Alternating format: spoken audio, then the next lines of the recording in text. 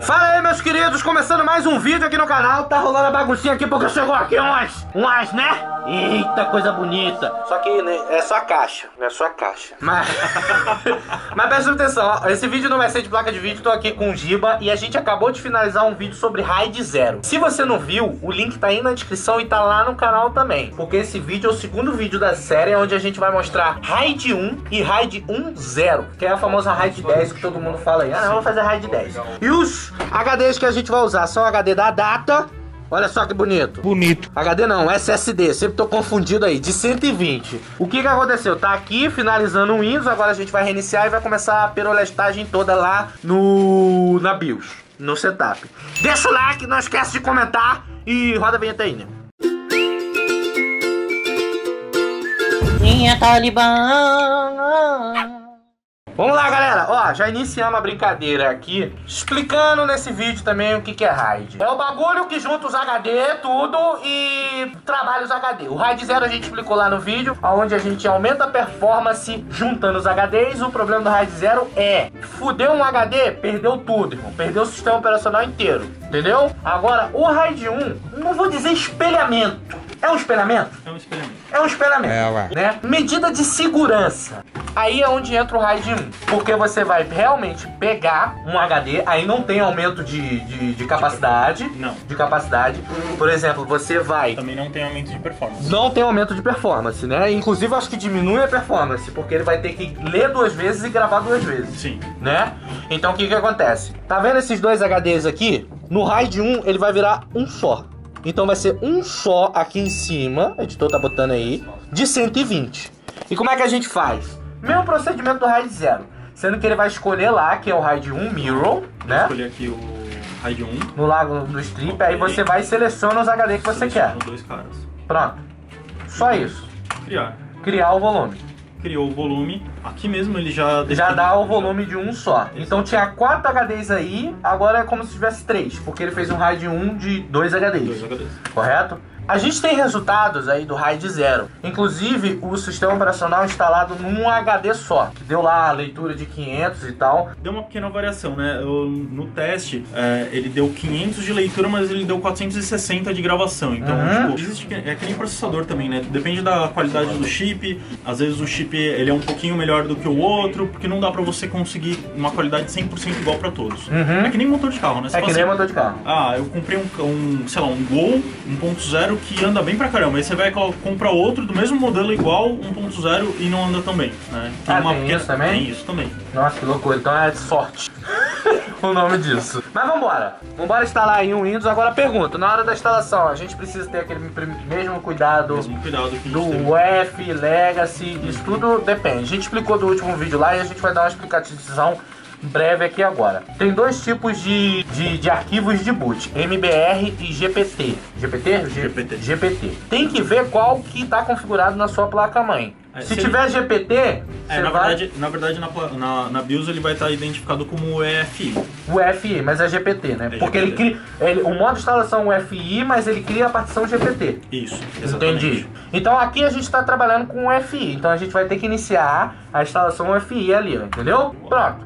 Começou a instalar GG e vai começar a instalação. A gente vai mostrar aí o quanto vai ser o teste. Sacou? E nem apareceu ali porque parou de gravar essa merda.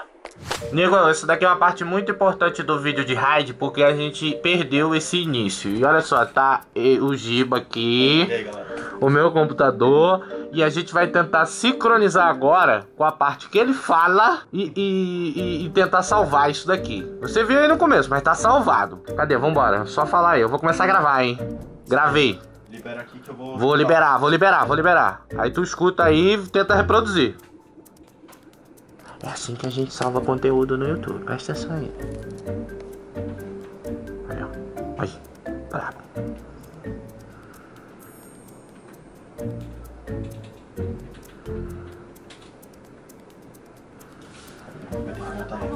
Vai ter que voltar a refazer, Gil? Mas já tá gravando. Vol- Volta o vídeo aqui. Volta o vídeo. Aqui? Tá vendo aí? Tá salvado, né? Tá salvado e espero que você tenha gostado do, que, que a gente faz aqui com o YouTube. Obrigado, Giba aí, valeu, né? Pode esperar aí e GG.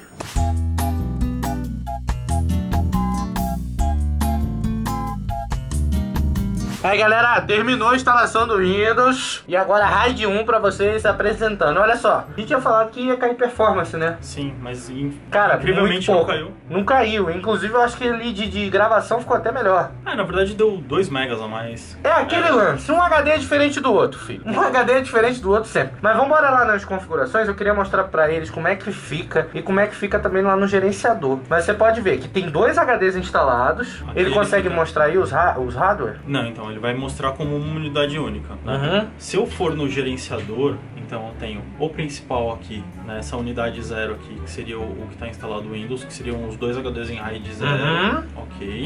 Eu tenho dois caras que não estão com unidade nenhuma, que são os É, dois porque que são os dois que a gente tá aqui ocioso, porque a gente não tá usando ainda. E tem o meu pendrive. Uhum. né? Ok. Ah, esse cara aqui ele sempre vai mostrar como unidade única. Certo. Por quê? Como ele tá em RAID, ele não aparece os dois hardwares separados, ele Uhum. aparece um só. Ih, tô só gravando eu aqui, foi mal. Então assim, é, qual que é a vantagem do RAID 0? Se uma das unidades falhar, você pode subir a outra. Então ele funciona. Isso no caso RAID 1, né? RAID 0 não. RAID 1. desculpa, RAID 1. Certo. RAID 1. No RAID 0 não, você perdeu uma das unidades, você perde Já era, você perde o sistema operacional. Então, pra quem quer um negócio mais confiável, pra quem quer um negócio assim, pô, não posso perder os dados aqui, trabalho com isso, por exemplo, o Ratão. O Ratão precisa do computador todo dia pra poder gravar e fazer live. Se um sistema desse cair, eu tenho um outro. Sim. Entendeu? Deu merda, eu tenho um outro. E, cara, con- confia, um dia vai dar merda. É sempre assim. E é sempre quando você vai estar mais precisando. Não, fica tranquilo, vai dar tudo errado. Agora, outro também, tem como fazer um RAID 1 com 4 SSDs? Tem. Tem, se você Tem quer, tipo, você é paranoico. Você é paranoico, irmão. Ah, meu Deus, eu quero replicar meu sistema operacional em 4 SSDs. Tem como? Tem. Mas aí eu aconselharia fazer o RAID 1.0. Que é o que a gente vai mostrar agora. Exato. Certo? O que, que é o RAID 1.0? É o espelhamento junto com performance. Isso, ele vai pegar dois SSDs e vai fazer performance, vai pegar os outros dois e fazer performance e vai espelhar as duas unidades uma na outra. Sim. Então, você vai ter a mesma performance que a gente viu no último vídeo com um RAID 0, De dois que vai SSDs. duplicar, sendo que você vai ter a qualidade e a segurança de ter um espelhamento em dois SSDs. No total vai aparecer um SSD só para você de 240 Exato. Certo? Então a gente vai demonstrar isso agora pra você. A gente vai sair de tudo aqui e a gente vai fazer o teste pra saber se, em, em termos de performance, vai ser igual a um RAID 0 e a gente vai ver se ele vai espelhar. Depois a gente vai até fazer o teste aqui desligando um HD como se ele tivesse queimado. Vamos simular, entendeu? E pra ver se sobe, Pra ver se sobe o sistema operacional. Deveria. Deveria. A gente vai fazer isso no final. A gente poderia fazer isso agora? Poderia, mas a gente vai fazer no final para não fazer um conteúdo duplicado. Pronto, galera, aí ó. Vamos lá agora. Infelizmente a gente vai ter que a gente vai ter que perder tudo, né? Que a gente instalou. Vai perder tudo. Vai perder tudo. Mas entendendo, a gente agora vai ter a segurança de um sistema duplicado, entendeu? Um espelhamento com um RAID. Mas para isso a gente vai ter que usar 4 SSDs. né? Eu vou... É pesado. Mas olha lá, tem a opção do 10, né? E agora seleciona os 4. E vem cá, e, e ali o 32 ali? Ele configurou automaticamente. Não tem como subir não? Vamos subir, É pô. 64. 64, brabo. E volume. E ele fez um volume, agora vamos lá. Ele fez o espelhamento e fez a dobra Uhum. do espelhamento. Exatamente. certo? E tá aqui os 4 SSDs, agora a gente vai chegar, vai instalar o sistema operacional de novo. Gente- eu nunca instalei um Windows tantas vezes num dia só. Junto com o Giba aqui. Mano, doideira, mas a gente tem que ficar fazendo isso pra poder sair o conteúdo. Então vem mais um time-lapsezinho aí do sistema operacional sendo instalado. E o final a gente vai provar pra você que o negócio funciona. Né, Giba? Vambora,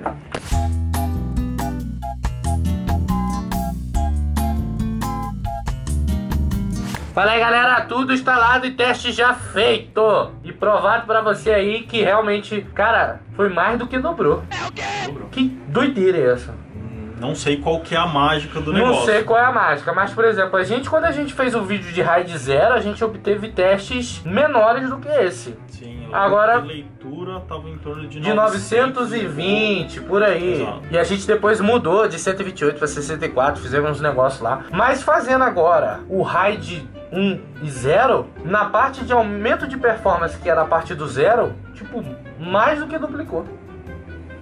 Não dá pra entender, mas você viu que é funcional. A gente vai mostrar aqui pra vocês agora como é que fica. Ó, Lembrando que a gente está usando 4 HDs, então duplicou, são 4 HDs de 120. Ele duplicou aqui, ó, o espaço e tá com espelhamento. O vídeo acabou aí? Não. Peraí, O vídeo eu- não acabou aí. Uma coisa interessante. Lembra que a gente mostrou o gerenciador de Ah, sim, sim. Como é que E ficou lá, aí? e lá ele aparecia, da- quando a gente fez o RAID 1, aparecia só uma unidade do RAID 1 e as duas outras unidades que não estavam sendo usadas não apareci, eh, apareciam aqui como não alocadas. Né? Uhum, E agora só aparece uma única unidade. sim. Então todo mundo está dentro dessa unidade aqui. Certo. Belezinha? Belezinha, então quer dizer que tá funcionando tudo bonitinho, Tudo tudo bonitinho. dentro de uma unidade bonitinha, como se tivesse um RAID 0, mas com a RAID 1. Os hardwares, é isso que eu queria ver. Eu queria ver isso aqui, ó. Deixa eu mostrar aqui pra galera. Se o Windows ele vai reconhecer, vem aqui, ó, propriedade no gerenciador de dispositivo. Aqui na parte Unidade, disco, unidade. unidade de disco. Não, Não, ele só conhece a controladora, Só. né? Só Não, como RAID 1 ainda. RAID 1 ainda, porque lá você tem a possibilidade de botar o nome do volume, né? Sim, lá tava como volume 1. Então se você quer saber realmente quais hardwares que tá, você tem que ir na BIOS, não adianta. Agora vamos simular uma perda. Então vamos desligar o sistema. Vamos desligar o sistema, não, a gente não vai simular assim desligando, né? Loucura, que eu não- também não quero queimar, porque isso aí não foi presente não, foi emprestado. Eu posso habilitar. Eu, eu não me lembro, mas eu acho que dentro da BIOS está habilitado o Hot Swap. Ah, tá? Se tiver o Hot Swap. A gente vai vai coisar. Vamos ver aí agora se tá habilitado e vamos falar pra você. Vamos lá, galera, ó, tá habilitado o negócio. A gente vai realmente simular uma perda aqui, ver o que, que acontece. Deixa, deixa o, o- vamos botar a parte de disco ligada. Disco. E qual, qual que a gente vai desligar aqui? Vamos escolher um. Vamos escolher esse cara aqui? Vamos escolher esse cara aqui. Só puxar aí o pino do, do SATA. Pum, desligou. Não travou, Vamos ver até se esse cara aqui vai funcionar. mas teve uma perda. Vamos ver aí agora. A gente não sabe qual que desligou, mas desligou um do espelhamento. Então quer dizer, o RAID 0 caiu. Não, não caiu. O RAID 0 caiu? Um dos RAID 0. Um, um dos RAID 0 caiu e ele correu direto pro espelhamento. Ó, lembrando que o cabo tá solto. Tá solto. Então, tipo, caiu. Ó, Só A que gente tem uma perda de performance aqui. Tipo, tem uma perda de performance. Porque o que aconteceu? Caiu um espelhamento de um RAID. Exato. Então ele continua funcionando. Continua funcionando. Cê- cê- vê se você. É um pouquinho difícil de entender, mas vamos lá. O nosso editor vai ajudar ilustrando Pensa, aí. vamos fazer assim, ó. Eu tinha. Eu tenho 4 HDs, né? Boa. Eu tenho esses dois aqui que estão funcionando em par e esses dois aqui. Sim. O que que a gente fez? A gente derrubou um aqui. Então derrubou só um espelhamento. Esse espelhamento morreu, mas esse continua funcionando. Então o RAID 0 funciona. Funciona. Só que caiu a performance. Sim, diminuiu um pouco. Entendi. Agora se a gente pá, desligar outro. Aí. Rolou um, rolou, rolou, um raio na tua casa, irmão. Plá! Se eu desligar um segundo e ele for o par do segundo espelhamento, aí o sistema vai parar. Vamos arriscar então desligar o pá do outro espelhamento. Do- Vai ser loteria. Loteria. Então vou pegar esse da ponta. Vai, da ponta. Não caiu. Será, então, que, será que esse será a par desse? Eu não me lembro agora. No, no cara, se não caiu, é porque era. Então a gente desligou um par do RAID zero. Não, ele travou sim, ó. Sumiu os ícones Ah, daqui, ele ó. travou aí, ó. Ó, travou. Agora travou. Agora travou o sistema. Aí como é que a gente recupera esse sistema aí? Então vamos lá. Não, vamos deixar ele botar primeiro, ver o que, que acontece. Eu acho que ele não vai botar.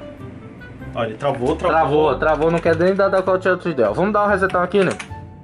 Pode? Off. Tedoffzinho.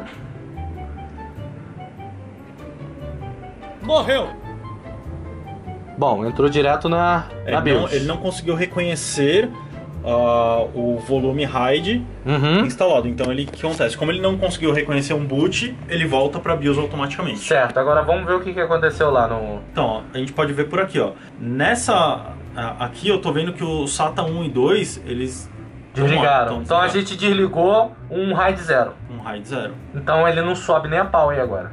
Não tá subindo. Não vai subir. Não. Se a gente, por exemplo, de ligar esse Pode ligar. e desligar esse. Calma aí. Ele vai subir o sistema. Por exemplo, de ligar esse aqui. Aí. Moisés. Eu também não quero Ele quebrar também essa não vai, não vai subir o sistema. Então tem que ser esse. Na verdade, assim, se eu deixar dois fora, eu, te- eu teria que deixar um par ligado. Desse jeito aqui, eu acho que ele sobe o sistema. Vamos. Vamos ver. Não, desse jeito ele vai subir o sistema. Porque foi o que aconteceu antes. A gente desligou lá e é como se um HD tivesse queimado. Exato. Mas aí, se você desliga um segundo que faz par da outra unidade funcional, ele para. Mas deixa eu te perguntar, queimou um HD desse? Eu tenho como comprar outro, botar aí com algum tipo de jeito recuperar o sistema? Tem. Dentro da BIOS, aqui, na hora que eu entro aqui no volume RAID, tem uma parte que aparece de recover aqui. É, ele só vai aparecer se a gente botar um HD novo. É, tá vendo? Ele tá aparecendo como falho. Uhum. né? Se eu plugar esse cara de volta aqui e reiniciar a unidade, se eu, se eu tivesse um outro SSD para pôr no lugar agora, é, Ele ia recuperar o sistema. ele ia recuperar o sistema. Porque o que que ele ia fazer? Ele ia fazer a cópia de tudo aquilo que foi salvo no espelhamento para o outro Exato. balancear e começar a trabalhar junto. Exato. Então, tipo, você consegue ter um RAID 0 seguro, usando a metodologia RAID 10, né? 1 0. Agora, é muita felicidade se queimar dois HD. Olha lá.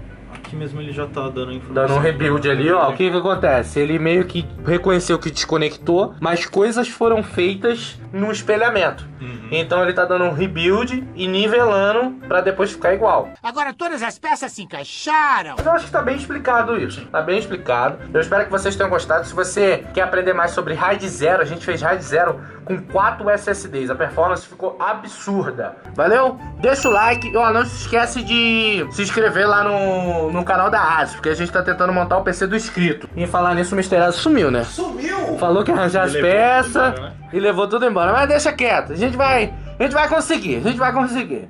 E é isso daí, né?